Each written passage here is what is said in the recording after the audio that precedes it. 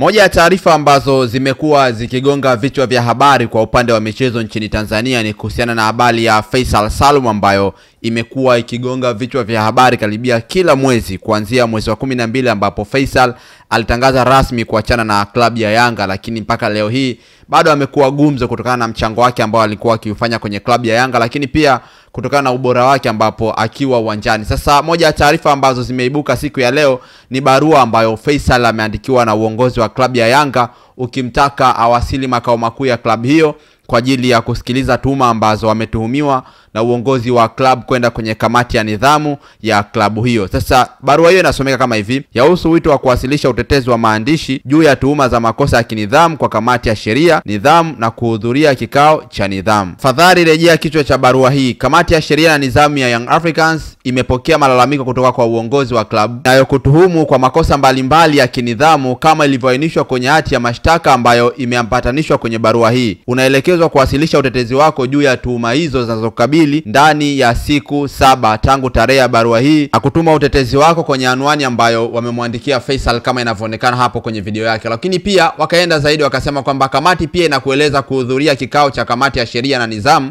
kitakachosikiliza mashtaka dhidi yako mnamo tarehe 24 Mei 2023 saa 4 kamili asubuhi katika ofisi za klabu zilizopo Jangwani, ukumbi wa mikutano, ukiwa na mwakilishi wako iwapo kama atapenda kuwa na mwakilishi ili kusikiliza wewe pamoja na malalamikaji na kufanya maamuzi juu ya tuhuma zinazokukabili. Fahamu kwamba kushindwa kufika kwako kuwasilisha utetezi wa maandishi dhidi ya tuhuma zinazokukabili ndani ya muda uliotajwa au kutofika kwenye kikao kutafanya kamati iendelee na kikao bila uwepo wako. Hiyo ni barua ambayo Yanga wamemwandikia Faisal Salum akimtaka awasili kwenye kamati ya nidhamu ya klabu hiyo kwa sababu uongozi wa klabu ya Yanga umemtuhumu Faisal kwa makosa ya kinidhamu. Sasa barua hii imekuwa ikisambaa sana kwenye mitandao ya kijamii na wengi wamekuwa wakihusisha kwamba pale Yanga inapotaka kucheza mechi kubwa, basi habari za Faisal zimekuwa zikizuka mara kwa mara. Pengine wengi wanachukulia kama ni propaganda za kuitoa Yanga kwenye reli, kwa sababu wanakumbuka michezo yote ambapo Yanga walikuwa wakijiandaa kucheza michezo ya kimataifa, basi lazima kuwe na kesi ya Faisal Salum. Sasa wengine wameona kama vile ni hujuma ambazo Faisal anazifanya au uongozi wa Faisal au watu ambao wanamshauri Faisal wanaofanya kwa ajili ya klabu ya Yanga, pengine labda ipoteze concentration au ile focus ambayo wameiweka kwenye mechi, waanze kufikiria hii kesi ya Faisal Salum. Na wengine wameenda mbali zaidi na kusema kwamba kama Faisal anahitaji kuondoka kwa amani Yanga, basi asikilize kile ambacho rais wa klabu ya Yanga alikitoa siku ya jana, ambapo alizungumza na kipindi cha Power Breakfast ya Clouds FM, ambapo alisema kuwa wamempa masharti matatu tu Faisal. Cha kwanza, klabu ambayo inamtaka Faisal basi iende kwa Yanga